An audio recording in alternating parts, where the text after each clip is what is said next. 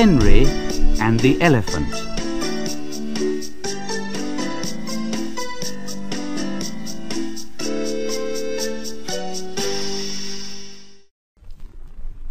Henry and Gordon were lonely when Thomas left the yard to run his branch line. They missed him very much. They had more work to do. They couldn't wait in the shed till it was time and find their coaches at the platform. Oh, no. They had to get the coaches themselves. And they didn't like that. And then one day a circus came to town, and the engines soon forgot that they were tired. They all wanted to shunt the special trucks and coaches. And they were dreadfully jealous of James when the fat controller told him to pull the train when the circus went away. However, they soon forgot about the animals, as they had plenty of work to do. One morning, Henry was told to take some workmen to a tunnel, which was blocked. He grumbled away and found two trucks to carry the workmen and their tools. And he pushed the trucks along the line and muttered to himself, Pushing trucks, shh, shh, shh, pushing trucks, pushing trucks, shh, shh, shh, pushing trucks, shh, shh, shh. They came to the tunnel and stopped outside. They tried to look through it, but it was quite dark. No daylight shone from the other end. The workmen took their tools and went inside. Suddenly, they all shouted, Oh! Oh! Oh! he, oh, oh!" and they came running out of the tunnel. The foreman was outside the tunnel having a cup of tea, and they said to him, Look, we went to the blockage and started to dig it away, but it grunted and moved.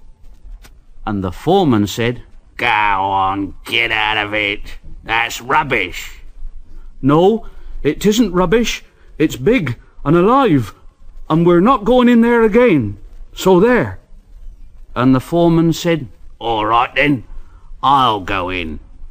I'll ride in a truck, and Henry shall push this here blockage out of the way. And Henry said, Oh, oh shoo, shoo, shoo. He hated tunnels He'd been shut up in one once. And this was worse. There was something big and alive inside the tunnel. Henry said, I, I don't want to go in. And Henry's driver said, Well, neither do I, Henry. But we must. We've got to clear the line. Now, Come on, Henry. There's a good lad. And Henry puffed slowly into the dark, dark tunnel. Shh, shh, shh, shh. Oh, dear. Shh, shh. Oh, dear. Shh, shh. Oh, dear. Oh! What's that? Henry had bumped into something enormous. Henry's driver shut off steam at once. What is it, Henry? Oh, I, I don't know, but I can't move it. It's moving me. It's pushing me backwards. Oh, help!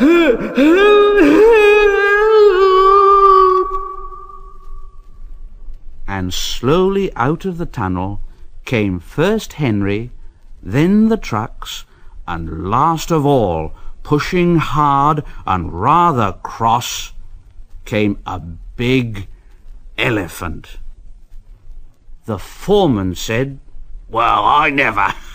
it's an elephant from the circus. Henry's driver put on his brakes, and a man ran to telephone for the keeper. The elephant stopped pushing and came towards them. They gave him some sandwiches and cake, so he forgot he was cross and remembered he was hungry. He drank three buckets of water without stopping, and was just going to drink another one when Henry let off steam. That frightened the elephant. It went whoosh and squirted the water all over Henry by mistake. Poor Henry. He didn't like that at all. The elephant's keeper came and took him away, and the workmen jumped into the trucks, laughing at their adventure.